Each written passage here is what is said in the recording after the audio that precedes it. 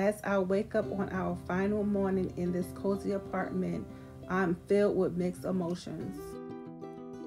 While I whip up our last breakfast here, memories flood my mind the laughter, the joy, the stories within these walls. Surely the good and bad came with living in the apartment, the tight space, occasional neighbor noise, but they all became a part of our story. But you know what, guys? Today isn't just the ending, it's a fresh start for us.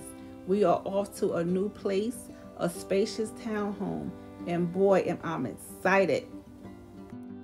This move isn't just about changing locations, it's about creating a whole new canvas for memories. I can already imagine my bigger kitchen where I'll whip up new recipes and maybe even discover a niche for baking.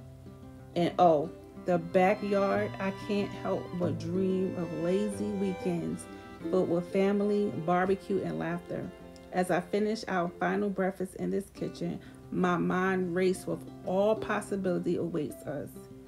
With just a few minutes left until we move, I'm excited. it isn't just a move, you guys. It's the beginning of a new chapter in our lives.